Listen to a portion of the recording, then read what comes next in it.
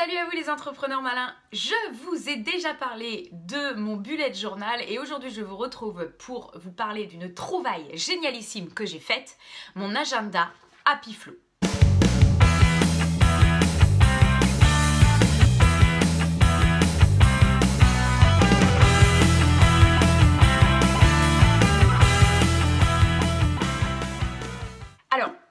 Mes to-do list, mes inspirations, ma planification, mon calendrier, mon agenda, mes visualisations, euh, je pense que ça faisait un peu beaucoup de post-it. Euh, c'est pour ça d'ailleurs que j'avais utilisé euh, le bullet journal.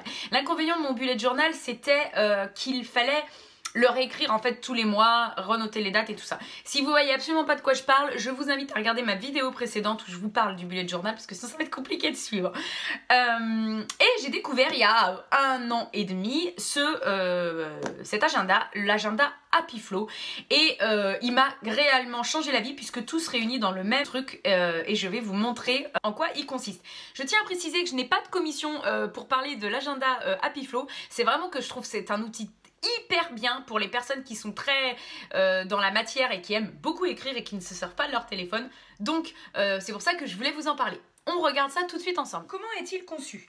Au départ, vous avez toute une partie de résumé de votre année passée, ce que vous avez vécu, vos victoires, ce que vous avez appris de vos échecs, votre planification pour l'année, vos objectifs, ce que vous souhaitez accomplir et dans quel domaine. Je trouve ça parfait pour bien démarrer une année puisqu'on sait où on va, on est focus, c'est ce qu'on appelle une visualisation et on peut le faire grâce à cet agenda. Ensuite, c'est parti, pour chaque mois, vous retrouvez une vision d'ensemble du mois en calendrier, vos objectifs du mois et la liste des choses à faire, puis les semaines avec l'intention à mettre par semaine et la petite citation que j'adore. À la fin du mois, l'agenda vous propose de faire le point dans chacun des domaines de votre vie et sur les habitudes que vous avez, que vous avez voulu mettre en place, vos gratitudes et vos apprentissages. Tu remarqueras aussi les feuilles de prise de notes qui sont bien présentes.